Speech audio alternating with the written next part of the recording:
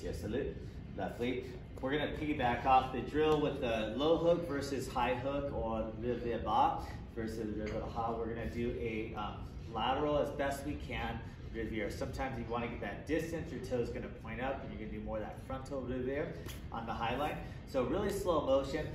Derek's not gonna move, he's gonna let me attack his low line with my hook kick. So what I'm gonna do, I'm in outside range, I can't kick him, we're too far. I do a little step, I do a cross step, I lift my knee up high, and I attack the low line. That's kind of the goal here. What the other person is gonna do is that leg is gonna escape upward and kick it. So we're doing the same drill we did on another seg segment, but we're adding the distance from outside range to kicking range.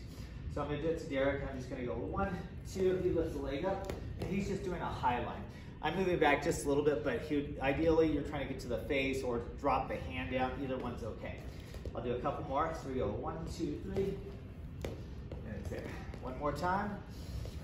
One, two, three. And then he'll do it to me. So he's coming in, nice and easy. I'm just coming up high. If he kicks, see how I graze the back leg? So he's a little close, so we want to start a little bit further away. So that way he's only hitting my front leg. Boom, and it goes up high.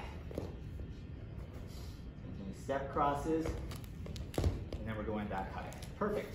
So we practice the same thing both sides. So all we're trying to do is practice both legs, but to start it is one, two, three. We're trying to hook it around.